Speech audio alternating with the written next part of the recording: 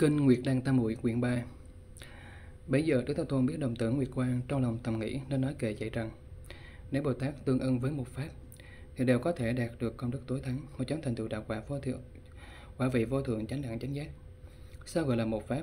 Lời đồng tử đó là, nếu bồ tát đối với thể tánh của tất cả các pháp mà rõ biết như thật. Lời đồng tử sao gọi là đối với thể tánh tất cả pháp mà rõ biết như thật? Nghĩa là tất cả pháp xa lìa danh tự xa lìa âm thanh xa lìa ngôn ngữ xa lìa văn tự xa lìa sinh diệt, tướng của nhân, tướng của duyên, tướng của phan duyên. Đó gọi là vô tướng xa lìa nơi tướng, chẳng phải tâm xa lìa nơi tâm, mà biết các pháp.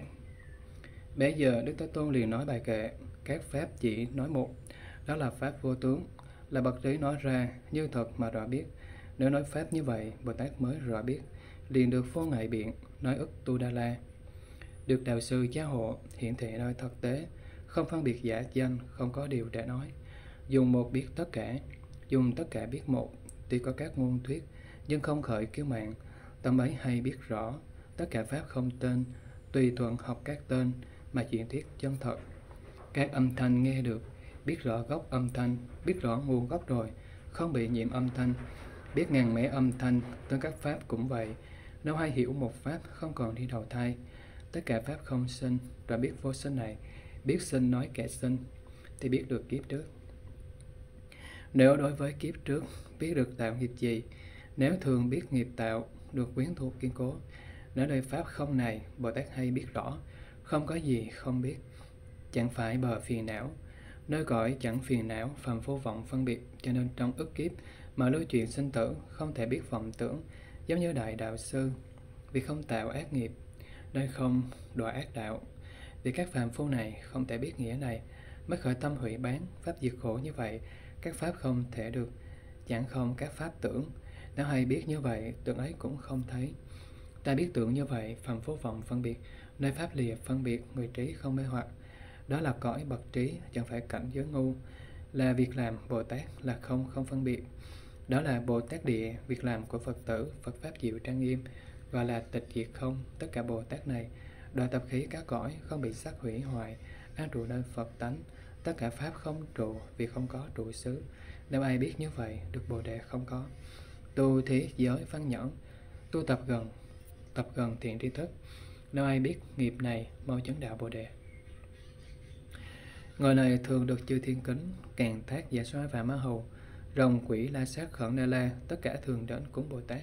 Hàng được chư Phật hết lời khen, đem lại lợi ích các thế gian, trí tuệ tương tục, thích tịch diệt, Bồ Tát thắng diệu, thương xót thân. Đã có Bồ Tát hay biết không, lợi ích vô lượng ức chúng sinh, trong chúng nhu hòa, diện thuyết pháp. Người nghe duy tích nên ái kính, trí tuệ rộng lớn càng thêm sáng, do trí tuệ này hay thấy Phật, cũng thấy cõi tình diệu trang nghiêm, nghe nhận điều chư Phật thuyết pháp, biết tất cả pháp như huyện hóa, giống như hư không, tự tánh không, hay biết thể tánh là không vô. Hành dụng như vậy không ô nhiễm. Có người tu hành Bồ Tát hạnh ở trong các việc không đắm trước. Biết tất cả pháp như biến hóa, nhưng với các cõi hiện biến hóa, hay vì chư Phật làm Phật sự, thì tánh huyễn pháp không đến đi, tùy nguyện quá khứ được lợi ích, là người hay ăn trụ Bồ Đề.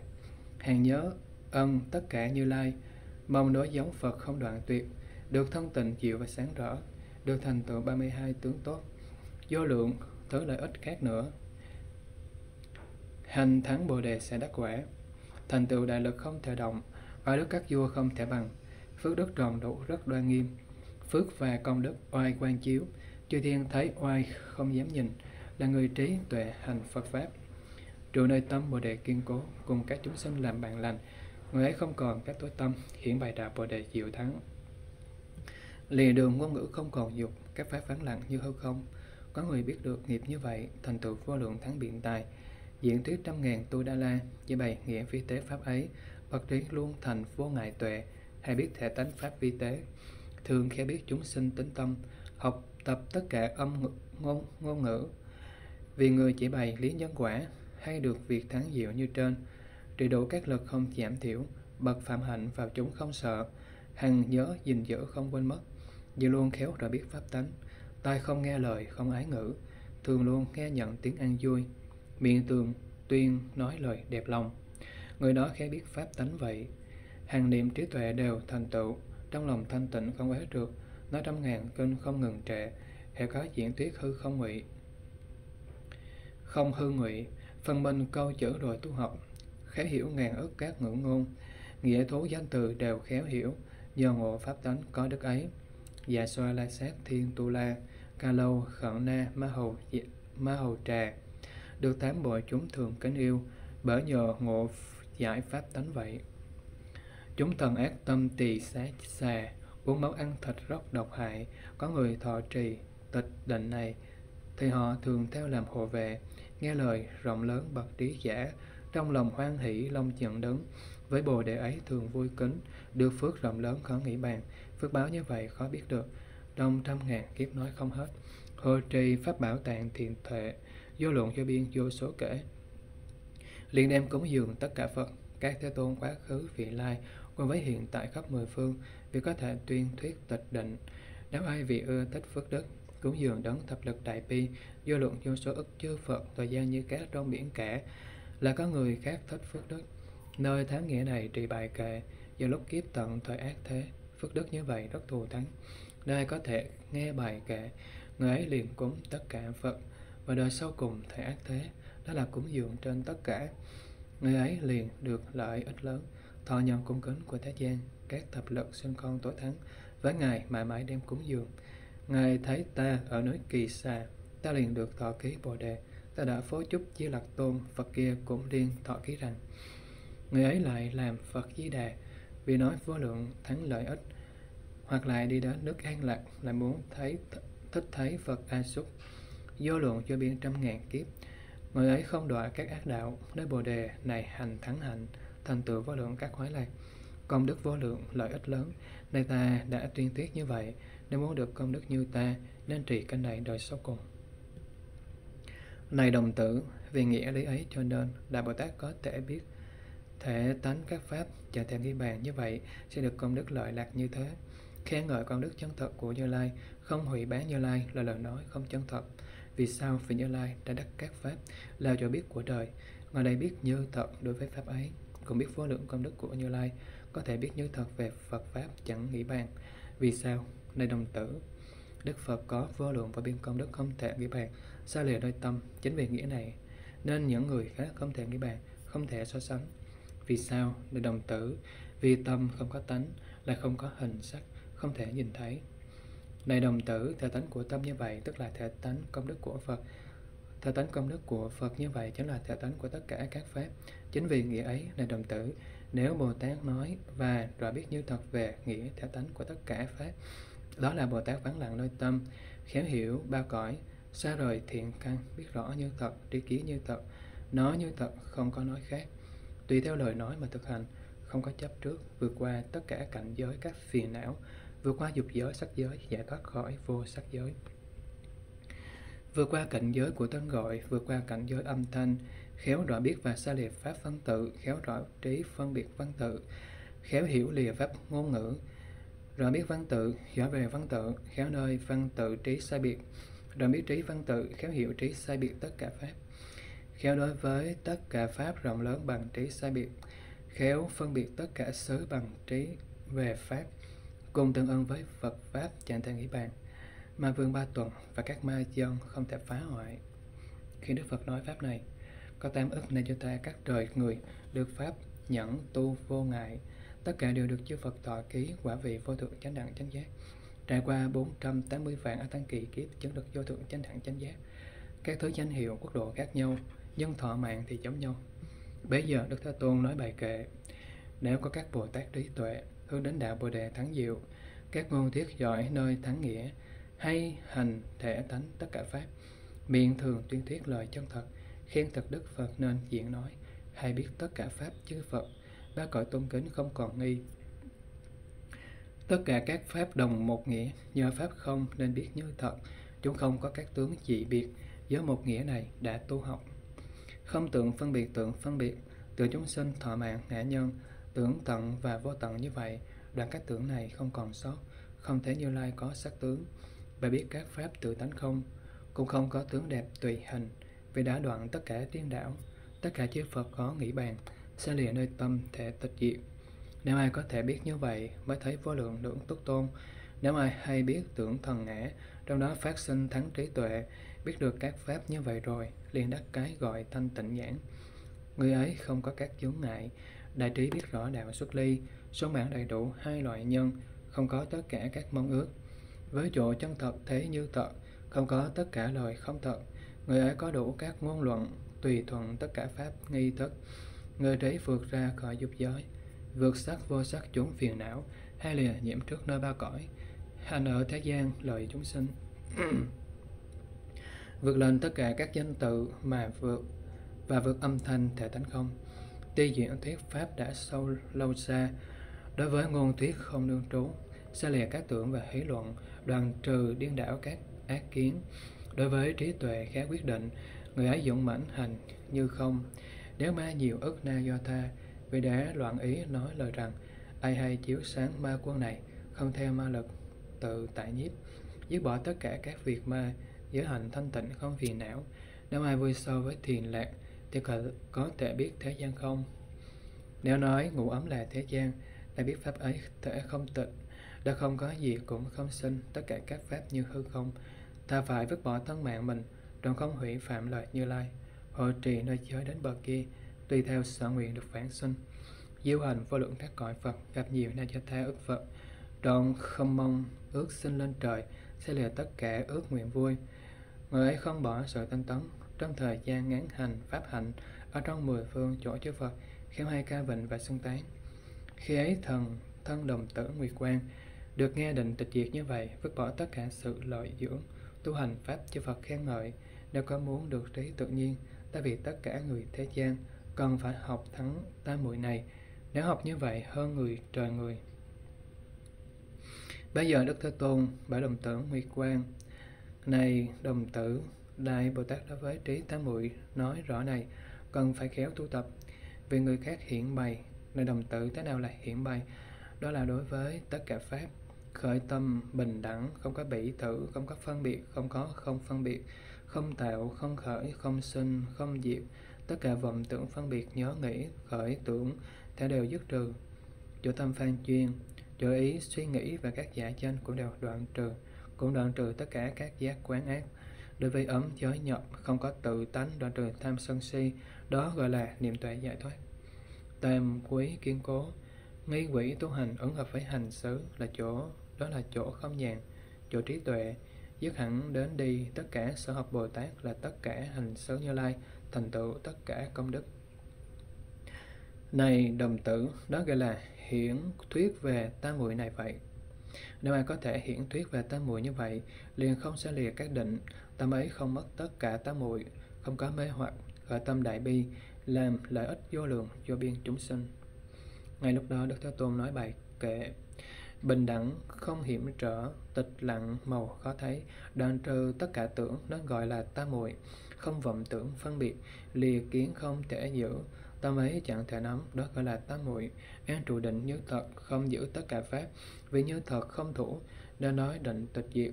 Pháp không có mảy may, cũng không chút khả đắc, vì không chút khả đắc nên gọi là tam muội. Hữu đắc hay vô đắc, đó gọi là vọng tưởng, lìa phân biệt nơi Pháp nên gọi là tam muội. Nhờ tiếng nên nói nghĩ, tiếng này chẳng thật có, giống như tiếng dội lại, lại giống như hư không. Chúng sinh vô sở trụ, chỗ trụ bất khả đắc, tiếng đắc cùng bất đắc, tổ tánh bất khả đắc, hoặc bỏ hoặc đọa lạc, bỏ đạo bất khả đắc, tiếng bỏ cùng không bỏ, nói đạo biết như vậy, còn có định là thủ, còn không định cũng vậy, vô trước hành bồ đề, chứng thánh đạo cũng thế. Địa bình đẳng lìa hiểm, định tuệ này vô tướng, Phật tử tu tập nó, khéo tu định tương ưng, văn tự chẳng có thể vào nghĩa thú sau này, bậc các việc ngôn ngữ, lược định vô sở thủ. Bồ Tát được định này, như nói trụ tương ưng. Dù lửa thiêu thế giới, trong ấy không bị cháy, vô lượng kiếp hỏa thiêu như hư không không cháy. Nếu biết pháp hư như không, người ấy lửa không đốt. Nếu khi thiêu cõi phật, trong định phát nguyện này, diệt sạch hết lửa ấy, người và đất không hoại thần túc ấy vô biên, đạo hư không không ngại. Tùy học định mà trụ, bồ tát gặp công đức, hoặc sinh hoặc biến mất, không khởi cũng không diệt. Nếu hay biết như vậy, được định này không có, thời gian có sinh diệt. Chỗ như lai đã nói nếu hay biết định này, nên biết thân cận đời. Đời thế gian không nhiễm, thế pháp không thể ngại. Nếu, thân nếu không chướng ngại, qua lại cõi chư phật, thường thấy nơi tịnh độ và thấy đạo sư đời. Nên nghe được, nên được nghe chánh pháp diễn thuyết tại các cõi. Cũng không khởi vô tri vào lúc nói pháp tánh, hay thông đạt các pháp, như tùy theo pháp tánh, diễn thuyết trong ức kiếp, biên tai không đoạn tuyệt hay khiến làm nhiều thân các bồ tát khác nữa. Biến hóa các bồ tát qua lại các cõi phật trên hoa sen ngàn cánh, kiết già mà an tọa hiển thị bồ đề phật, tu đà la tổng trì cùng hàng ất kênh khác như tu tập, tịch định. Chỉ trừ bất thoái chuyển, người chẳng nghĩ bàn khác, không thể hết biện tài, hiển thị bồ đề phật, bỏ đi các lầu gác các thứ báu nghiêm sức.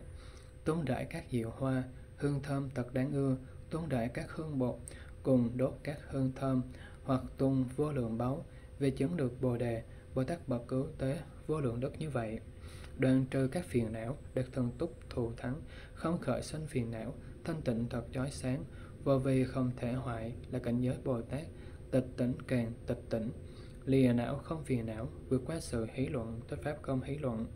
Văn tự không thể vào vì các pháp vô tướng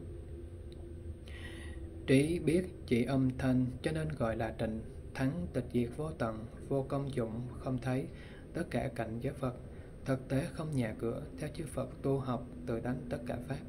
Học công đức phật này, được công đức cứu cánh, chẳng đây cũng chẳng kia bạn tế không phân biệt. Cho nên tất cả phật đạt công đức bờ kia, với vị lai không bỏ, vì đã biết pháp tánh, vô công dụng hỷ luận đạt công đức bờ kia. Bây giờ đồng tử nguyệt quang và đức phật hy hữu thay bạch thế tôn như lai bậc ứng cúng chánh biến tri, mới có thể khéo nói về thể tánh bình đẳng của tất cả các pháp. Đó là nói về thể tánh bình đẳng của tất cả các pháp mà bồ tát phải học. Nếu bồ tát có thể tu học tam muội đã được được nói ra ấy, sẽ mau chóng chỉ được vô thượng chánh đẳng chánh giác. Bạch thế tôn con lại muốn nói. Bạch như lai, con lại muốn nói. Bạch thiện thệ con muốn nói một phần nhỏ. Đức phật nói, này đồng tử nếu muốn nói, cứ nói. Bây giờ đồng tử nguyệt quang ở trước đức phật chắp tay hướng về đức phật. Xuân dương thật đức bằng bài kệ khen ngợi. Tái sinh bị già bệnh chết khổ. Tham sân và si thường mê hoặc. Xưa phật đã phát tâm bồ đề. Mong thành chánh giác mở các cọ mở các trói. Lành thầy vô lượng kiếp tu hành, bố thí địa phục ngăn các lỗi. Đề giới nhẫn nhục siêng tinh tấn, khéo tu thiền định và trí tuệ. Vì không hy vọng bỏ ngôi vua và con của cải đều bỏ hết đầu mắt tay chân và thọ mạng. Tâm ấy ban đầu không mệt mỏi. Cấm giới trong sáng sạch không nhơ, vứt bỏ thân mạng thường hộ trì. Khéo hay cấm chế thân miệng ấy, quý mạng thiện tệ điều phục tâm. An trụ trí tuệ trong sức nhẫn. Dù bị các thân không phẫn nộ, do lòng từ máu biến thành sữa, quý mạng như lai rất kỳ đặc, thành tựu a lực, trụ thập lực. Dùng trí vô lượng rõ các pháp, phật đem lòng thương đến thế gian cứu độ lợi ích các cõi khác. Để biết bản thể các pháp không thấy các thế gian đều hư vọng, ngộ đạo khế hội tánh vô ngã. Biết giải thoát ấy không chỗ thoát. Xa lìa phiền não và phẩm dật hàng phục ma lực và ma quân. Biết đạo vô cấu, trí vô ngại, nói pháp thanh tịnh vô ngại tịch. Giả sử tinh tú trên trời rớt đất biến thành ấp đều hoại diệt. Hư không vô vi tánh đổi khác, như lai hoàn toàn không nói dối thấy sự khổ não của các chúng sinh. An trụ đắm trước trong phân biệt, vì họ hiển bày lìa đắm trước, gọi là tịch diệt không thậm thâm. Chẳng thể nghĩ bàn vô số kiếp, đại hùng dũng mãnh học từ lâu, tu học tất cả không đắm trước nên phật không có các lỗi lầm. Phật đã tu học tất cả pháp như pháp so đắc vì người nói, đó chẳng phải phàm phu ngu si, là chẳng phải tất cả ngoại đạo. Tâm thường an trụ nơi ngã tưởng, gọi là các phàm phu lỗi lầm nếu hay biết được pháp vô ngã, không có tất cả các lỗi lầm. Đại hùng đã nói lời chân thật, hàng thường an trụ nơi thật pháp, an trụ thật pháp như vậy rồi, lại hay chuyển tiết lời chân thật. Quá khứ từng tu hành chân thật mới hay xứng đáng nơi bản nguyện, đạt được diệu quả báo chân thật. Nhờ vậy hay nói lời chân thật, đã hành hạnh chân thật đầy đủ. Khéo hay biết được chân thực tế, đã tu hạnh chân thật như vậy, quý mạng nhân tôn đại trí tuệ trí ngài tối thắng không ai bằng trí tuệ đầy đủ rất rạng, sáng rạng cuối cùng đạt được thắng trí tuệ quý mạng bậc trí tuệ ngôn thuyết hay cùng chúng sinh làm bạn hữu, từ lâu tu tập tâm từ bi, hay khéo ăn trụ nơi bất động. Bất động giống như núi Tu Chi, làm thầy trời người đầy đức lớn, giáo thọ đại chúng các quần sinh, thiện thể thắng trí, tuệ thầm thâm, trong chúng vô ý làm chấn động. Sư tử đóng vô ý như vậy, như vua sư tử oai hùng mãnh, hàng phục tất cả các ngoại đạo, giống như sư tử vồ trồn hoang. Đại hùng điều phục kẻ không điều, điều phục lại hay khéo điều ngự, hay khiến thành tựu làm thiện hữu, an trụ kiên cố mà không hoại. tại các chúng sinh kia khổ não, đưa vào hoàn toàn nơi ngã kiến, vì họ diễn sướng pháp vô ngã, không có tham ái và không ái. Người phàm phu ngu si không học, nơi đường nơi hiểm nạn, đường không lành, vì họ hiển thị đạo chân thật, đó là hướng đến đường Niết Bàn. Nếu ai đắm trước vào ngã tưởng, người ấy liền sống rất khổ não, bởi vì không hiểu pháp vô ngã là có thể diệt trừ khổ não. Trong kiếp số chẳng thể nghĩ bàn, đại trí từ lâu từng tu học, tu học xa lìa đắm trước rồi, cho nên không có các tội lỗi. Diễn thuyết các pháp cứu lìa tội, Thế Tôn xa lìa các lỗi lầm, khéo nói lời chân thật vi diệu, miệng thường giải thoát năm trăm điều sợ. Do lượng đã do trăm ngàn ức. Thiên Long giả xoa giữa hư không, ở thích pháp tối thánh vô thượng. Người nghe ai cũng hợp nghĩa chân, lời như lai hoan hỷ thiền mỹ, ôn hòa hợp thời vừa lòng người, tiếng hòa hợp phi diệu vô lượng, thương xót giải thoát vô số người, âm thanh kẻ nhạc trăm ngàn loại, một lúc tấu lên tiếng hòa hợp, là tiếng vui thích ở cõi trời, một tiếng như lai bao trùm khắp. Các loại chim ca lăng tầng già, đồng lúc cùng phát tiếng phi diệu, hay khiến người khác sinh vui thích, gặp âm thanh Phật chẳng thể sánh. Tấu lên âm nhạc của hoan hỷ, kết hợp tất cả các cung đàn, thọ la trống sáo đàn không hầu, gặp anh thanh Phật đều không hiện, tiếng ca múa vua khẩn na la đã từng khéo học trăm ngàn nhạc, nếu ai nghe được đều hoan hỷ, gặp âm thanh Phật đều không hiện, tiếng câu sĩ anh vũ xá lợi, không tức ai loan và uyên ương, có tất cả tiếng chim hay ấy, gặp âm thanh Phật đều không hiện, tiếng mỹ diệu chú thích khả ái, những ca vịnh hay ở thế gian, dù tất cả lại đồng tấu lên, tiếng Phật tối thắng vượt hơn chúng. Chư thiên dạ xoa vua Tu La, tất cả quần sinh trong ba cõi, thân Phật thượng diệu và tối thắng. Phật phóng hào quang liền che hết, sắc thơ như la như hoa nở, với tất cả tướng tốt rực sáng, sinh ra quả phước rất thanh tịnh, hào quang chiếu sáng khắp mười phương, tiếng ốc tiếng trống và tiêu sáo, tiếng hay, đồng, bạc, sinh và tiêu, các âm như vậy cùng hòa hợp, không bằng một phần trăm tiếng Phật. Càng thác tu la và ma hầu, cái tiếng hay ho của dạ xoa, cùng với tiếng hay khắp ba cõi, với Phật trăm phần không bằng một. Tất cả ánh sáng của Phạm Thiên và các thân sáng trời hữu đảnh, ta Tôn nếu phóng ánh hào quang, sáng kia không bằng một phần trăm. Thân khẩu ý nghiệp đều thanh tịnh, vì bố thí tịnh đời không nhiễm, bảo tụ công đức nhân trung vương, công đức tự nhiên không ai bằng. Tán thán thập lực lời thật xong đồng tử vui mừng nói như vậy, vì con cúng dường Pháp Vương Phật, nguyện phước này thành tích ca văn. Phật biết tịnh hạnh tối thắng kia, thiện thể bấy giờ liền mỉm cười, Di Lặc thấy Phật cười, thưa hỏi, quy mong nhân tôn nói yên cớ. Bấy giờ đại địa sáu chấn động, trời rồng hoan hỷ giữa hư không, hân hoan chiếm ngưỡng lượng túc tô, sư Phật nói cho nhân chuyên cười. Trí tuệ chư Phật đã rõ biết. Chẳng phải thanh văn đệ tử Phật, nay ăn trú ai đạo tối thắng, xin Ngài xót thương nói cho con, ngoại trừ Đức Mâu Ni từ bi, tất cả thế gian ai làm được, có thể trao cho quả Pháp Phương, xin Phật thọ ký quả Bồ Đề, để con khéo hỏi Thế Đạo Sư, Thích Ca Ngư Vương, Đại Oai Đức, đã đến bờ trí tuệ quang minh, đoạn trừ tham sân si ô uế, không thể nghĩ bàn, hàng xa ức. Kiếp số đạo sư đã tu hành, để cầu hạnh Bồ Đề thắng diệu, vì nhân gian gì hiện mỉm cười, hay bỏ thân mình với tay chân, vợ con quyến thuộc người thân yêu, thường hay tu hành thắng hạnh này, cho nên con hỏi đấng Mâu Ni. Với ngựa xe cổ và trâu dê, nô tỳ ma đi trân châu vàng, không thấy sở hữu các vật báu, khi hành bồ đề mà không bỏ. Đi ấy tối thắng đều hiển hiện, biết các việc làm của chúng sinh, tính tâm tánh dục đã khéo biết, sẽ nói duyên gì hiện mỉm cười. Ai từng cúng dường nhân trung tôn, ai ni ai thành tựu lợi lạc lớn, ai có thể hành việc Phật hành, vì ai mà hiện sự mỉm cười, mặt đất bấy giờ sáu chấn động, ức hoa sen đẹp mập từ đất, hoa này chiếu sáng, đổ ức cánh. Sắc vàng rực sáng thật khả ái, Phật tử ngồi trên hoa sen kia, Bồ Tát Đại Thần thông bậc nhất, do lượng Pháp Sư đến phân tập, cho nên con mới hỏi như vậy, đánh trống khua lên thổi tù và kể nhạc ức số như hàng xa, những loại âm nhạc nhiều như vậy, trong đó tiếng Phật tối thắng diệu. Câu sĩ tần già, ngỗng và hạt, các chim cùng lúc đến phân tập, đồng thời hót lên tiếng thật hay, không thể sánh bằng âm thanh Phật. Ai từng bố thí trì giới cấm, tu tập trong vô lượng ức kiếp, ai lại cúng dường nhân trung tôn, mâu ni vì ai hiện mỉm cười.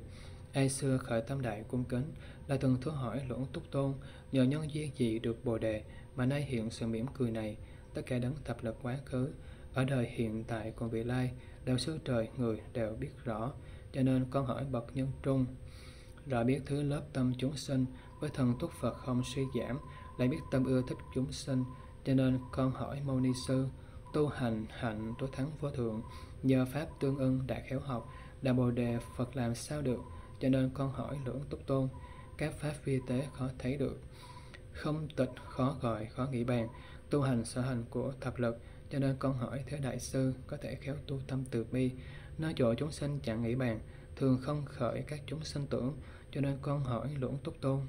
Cảnh giới sở hành khó nghĩ bàn, nên ngàn mê ấy bất khả đắc, đã vượt qua được cảnh giới tâm, cho nên con hỏi lưỡng túc tôn. Bố thí trì giới rốt ráo rồi, bậc trí sáng trong rõ ba đời, sẽ lệ tất cả các tội ác. Vì nghĩa lý gì hiện mỉm cười, xá lợi mục liên cư luật đa, và đệ tử khác các như lai chẳng phải là việc làm của họ cho cảnh giới Phật tối vô thượng. Nơi tất cả Pháp đến biển ngạn, sở học các cõi đã cứu cánh, đều sự phát sinh lòng thương lớn. Tiếng tuyên sướng phía diệu bậc nhất, do lượng A tăng kiếp quá khứ, cũng từng hỏi nghĩa lý như vậy, được làm người thân đấng cứu thế, nơi đại chấn quả nói cho con, dạ xoa la sát rồng bàn trạ, chiêm ngưỡng lưỡng túc tôn tối thắng, tất cả cung kính đứng chấp tay, đều hỏi Thế Tôn vì sao cười. Như chúng Bồ Tát đều phân tập, thần thông đầy đủ, nhiều ức cõi, tâm như lai sinh tối trưởng tử. Tất cả cung kính đều chấp tay, đạo sư Thế Tôn chẳng chuyên cớ, trường phu tối thắng hiện mỉm cười, ngôn ngữ với diệu âm thanh trống, vì nhân duyên gì hiện mỉm cười. Bồ Tát hướng tượng phương đông đến, từ thế giới của Phật A xuất, vô số chúng Bồ Tát vây quanh, vì họ thích ca nên đến đây. Lại nữa, diệu thế giới an lạc, Bồ Tát Quán Âm, Đại Thế Chí, vô số chúng Bồ Tát vây quanh, đến hỏi lưỡng túc thích sư tử. Do lượng ức dỗ Phật quá khứ, cúng dường vô biên các như lai, giống như số cát trong biển cả, vì hành thắng Bồ Đề vô thượng, Chỗ tất cả chư Phật khen ngợi, công đức Bồ Tát đã cứu cánh, mười phương thế giới đều nghe biết, văn thù sơ lợi đứng chấp tay, du hành qua vô số cõi Phật, đệ tử lớn như vậy khó thấy. Công đức Phật tử đã khéo học, tất cả chấp tay đứng cung kính. Càng khí tối thắng không ai bằng, bậc điều phục vô nhí như vậy, ta trì tất cả tạng Phật Pháp, xin Phật tuyên thuyết lời hòa diệu. Thế tôn đạo sơ đâu vô cớ, trường phu tối thắng hiện mỉm cười, tiếng trống, vía diệu sinh diễn thuyết, và nhân dân dị hiện mỉm cười, câu xí chim yếu ngỗng khổng tước, tiếng rống ngưu vương như sấm sét. Xin phát nhạc trời âm tuyệt diệu, quy mong diễn thuyết tiếng thêm vui. Khéo tập từ bi lìa các lỗi, trí tuệ hiện tiền đoạn ngu si, hiểu nghĩa chân thật lìa văn tự, trong trăm ngàn kiếp đã tu trì. Quyết định không tịch biết các hữu, hiện bày các cố nghĩa khổ diệt, phá hoại tất cả trí ngoại đạo, không vô chúng sinh và thọ mạng. Chư Phật tu hành trăm ngàn hạnh, trăm ngàn thứ phước để trang nghiêm, trăm ngàn chư thiên đều khen ngợi, trăm ngàn phạm thiên cũng như vậy Dạ xoa la sát đều tịnh tâm, ma hầu kim sĩ rồng hoan hỷ, biện thường tuyên thuyết không chướng ngại, cho khởi của nghiệp quả tịnh diệu, tất cả chư Phật đã diệt độ, cùng với hiện tại đời vị lai, đã biết tất cả không chướng ngại, từ chỗ sinh ra các con đức. Đại hải, đại địa và các núi, tất cả thảy đều sâu chấn động, chư thiên tu la rồng la hầu, rải các hoa hương rất thắng diệu, đoàn trừ tham sân và hôn mạng, liệm thúc tâm ý đều thanh tịnh âm thanh tịch tỉnh gọi vô tướng. Đại thánh sư tự rống như vậy đầy đủ biện tài danh xuân lớn. Nơi mắt nơi pháp khéo bình đẳng thế gian ai bằng ai qua nổi. Quy mong đại bi nói nghĩa cười Cầu sĩ tuần già và khổng tước Mạng mạng các chim âm thanh diệu Cùng lúc hót lên thật khả ái Chẳng thể bằng một âm của Phật Trống lớn chiên vàng các trống nhỏ, Tù và tiêu sáo đàn không hậu Ngàn thứ âm nhạc lầm tấu lên, một âm của Phật cũng hơn xa. ngàn thứ âm nhạc cõi trời hay và tiếng ca hay các thiên nữ, hợp lại cùng hát người yêu thích một lời của Phật cũng hơn xa đạo sư của đời dùng một âm, tuy sức tính tâm hiểu khác nhau tất cả đều bảo Phật vì mình mong đại sa môn nói giếng cười diệu âm thanh chư thiên và rồng ca lầu càng thét tỳ xá xà, chúng nó không thể diệt phiền não. Chỉ âm thanh Phật hay đoạn trừ. Tuy lại khởi ái tâm không nhiễm, hành từ liền được lìa lỗi sân hay sinh trí tuệ liệt ngu si, người được như vậy lìa các cấu. Tiếng Phật không thoát ra ngoài chúng, hai đoạn trong thứ các nghi ngờ về âm thanh ấy không cao thấp diệu âm mâu ni tịch bình đẳng. Giả sử cõi ba ngàn tan nát, một điểm biển cả đều khô cạn, trời trăng có thể rơi xuống đất. Thế hùng hoàn toàn không nói dối. Sáu mươi loại ngữ ngôn, thanh tịnh, tiếng trống rất hay, không sợ hãi. Tiếng phạm như lai xin nói cho tịch tỉnh nhân gì hiện mỉm cười. Tất cả quần sinh trong ba cõi có thể rõ biết việc làm ấy. Quá khứ, hiện tại và vị lai. Xin nhân tôn nói vì sao cười. Tất cả như lai bậc đại bi ở trong các lật được cứu cánh gian sắc như lai như trăng rằm đất phải và có hiện mỉm cười. Ngay khi ấy, đức thế tôn nói bài kệ tụng trả lời đại bồ tát di lặc. Đúng như đồng tử nguyệt quan ấy, tán thán như lai không ai bằng, tán thán như lai như vậy rồi, sao lại vì đời được khen ngợi? Ngày xưa ở thành vương xá này đã từng xem thấy nhiều ức phật. Nơi chỗ phật ấy thường thua hỏi, định tịch diệt thắng diệu như vậy, khi tu hành đạo hạnh bồ đề, trong tất cả đời làm con ta thường hay đầy đủ vô ngại biện, thường hàng an trụ nơi phạm hạnh. Người ấy lúc đời cuối hải hùng, chỉ có di lạc mới chứng biết trong tất cả thời trụ phạm hạnh hay phân biệt rộng tám muội này, muốn cầu tám muội thù thắng này, khen đạo đang hành sẽ đạt được. Do lượng ức phật đều nhiếp thọ, cúng dường đạo sư, đại đạo sư tối thắng. Tờ ở trong trí nên ký tuyết, lấy hạnh thù thắng nguyệt quan này. Ở thời cuối cùng không chướng ngại nói phạm hạnh ấy và thọ mạng biết được ngàn ức các như lai, như xem quả xoài trong bàn tay. Lại trải qua hàng xa số ấy, ở đời vị lai tu cúng dường, chư thiên và rồng có tám ức, chúng dạ xoa có bảy ngàn ức. Vị lai cúng dường lưỡng túc tôn, bọn họ đều có thể hộ giúp. Được nghe thọ ký như vậy rồi, hoan hỷ yêu thích đều xuống mãn nguyệt quang bay cao bảy đa la, đứng trên hư không, lời hí hữu. Ô hay, phật nói không gì hơn, an trụ trí giải thoát thần thông nhờ an trụ, thắng trí quyết định, tất cả dị luận không thể phá. Xa lìa hai bên chống giải thoát, quán sát sự việc không lắm trước. Ở trong bao cõi trí vô ngại, hoàn toàn không có các hí luận. Tất cả hí luận mà không nhiễm, giác quán các kiến đều đoạn trừ. Khéo tu nơi đạo không nương tựa, không bị người phá, không chống người. Đã nơi ba cõi không nương tựa, đoạn trừ các kết hành thanh tịnh. Dây ái trói buộc đều xa lìa các hữu tuân tục đều diệt sạch hiểu rõ tự thể tánh phi hữu, thuyết pháp ly ngôn đều biết rõ kẻ vô trí nơi điên đạo ấy. Nhờ sư tự rống bắt giả can, lấy phật vì hiện diệu pháp tạng, con nay đạt được diệu bảo tụ, đoạn trừ tất cả các đường ác, để con định, được định phật không y sắc vàng trong phước tây trang nghiêm, xin đem tay báo xoa đầu con đối với trời người trước đại chúng. Cuối mong nhân tôn quán đảnh con con nhớ quá khứ lúc tu hành nơi cờ sư tử trong phật pháp, nơi có tỳ kheo rất thông tuệ. Tên gọi hiền thí làm pháp sư con làm vương tử tên hiệt tuệ. Thân gặp bệnh khổ rất nguy khốn, lúc đức hiền thí làm pháp sư nhô nhuyến ngay thẳng đầy đức tốt. Năm trăm đứng y không giảm thiểu thay đều đi đến trị cho con, quyến thuộc thân thích đều sầu lo. Bây giờ đại sư nghe con bệnh liền đến chỗ con mà thăm hỏi hiền thí liền sinh tâm xót thương vì con mà tuyết ta muội này, con được nghe ta muội này rồi, không cần của cải tâm ưa thích. Nhờ rõ biết thể tánh các pháp, lúc ấy bệnh khổ liền tiêu trừ. Để khéo thực hành hạnh bồ đề, được thành phật đạo hiểu nhiên đăng. Như xưa ta, khi xưa ta phấn tử hiệu tuệ, nhờ ta muội này trừ khổ não. Do nhân duyên ấy nên đồng tử, ta nhớ việc này nên dặn ngươi. Nhẫn sự mắng nhiếc và hủy nhục, tọa trì độc tụng định như vậy thì kheo mạng thế có vô lượng phóng dật phá giới nhiều kêu kiết đấm trước y bác ưa làm ác khởi tâm bài bán tam bụi này. Tật đố khinh tháo tạ các căn. Sống nhà thế tục vì tham lợi thường nương quán số tất kiếm sống. Nên họ hủy bán tam muội này buông tay duỗi chân mặt tình láo. Đi chạy nói cười tự ngắm bóng. Bạn bè múa tay tùy theo đường đi. Nếu vào tụ lạc hiện tướng lạ, như vậy chẳng hợp nghi thức người, ngày đêm đam mê nơi đồng nữ, nơi sắc thanh ấy thường đắm trước, dạo cho tôn ấp hiện tướng này, tâm thường ưa thích sự ăn ngon, cười đùa, ca múa và âm nhạc, mua bán đũa giác thường cầu lợi, ưa thích uống rượu và cởi ngựa, ham thêm các chứa nhiều ẩm thực, chết rồi đọa lạc ba đường ác, chuyên lo khai cẩn và cày ruộng, bảo trì tự kỷ nơi trú xứ, nghe người khác dạy, truyền thơ tính, vứt bỏ chế cấm và oai nghi, thân cần bạch y trái lời Phật, hủy phá cấm giới, trụ ác đạo, làm Phật thường không nghe ngợi, không khen ngợi nghiệp. Đó là lường cân hay lừa dối tạo tác các nghiệp ác như vậy. Về ác hạng này, đò ác đạo có nhiều cuộc cải vàng với ngọc, vứt bỏ người thân mà xuất gia, không thể ăn trụ, tu tịnh giới, trở lại mua bán tạo nghiệp xấu, trao ngựa, đực, mái, cùng trống sữa, chỉ ý tiền, lúa là hơn hết. Vì sao xuất gia cạo đầu tóc, mà không giữ giới và nghi thức, thời quá khứ ta hành bồ đề, ở trong ngàn kiếp tu khổ hạnh, để cầu định tịch diệt như vậy, người ngu nghe vậy liền chết cười.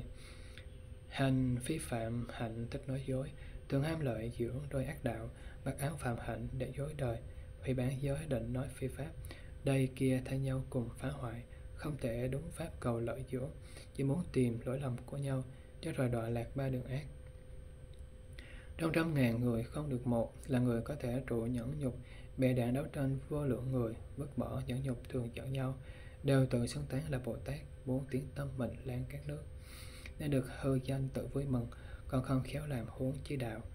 Ta từng không nghe cũng không thấy, người dục lạc không có tịnh hạnh, ba bán pháp này không hâm mộ, sao thể đạt được đạo Bồ Đề, không mưu sinh nên xuất gia, không cầu tất cả Bồ Đề Phật người ngu ăn trụ trong ngã kiến. Nghe nói chúa ngã liền kinh sợ. Đây kia cùng nhau hằng tranh luận ngã mạng tự cao xâm lấn nhau. Tự cho mình đúng người khác sai thường làm bất thiện vọng hoan hỷ. Thành tựu các công đức tịnh giới an trụ tâm từ hành nhẫn nhục điều phục nhu nhuyễn và thuần thiện.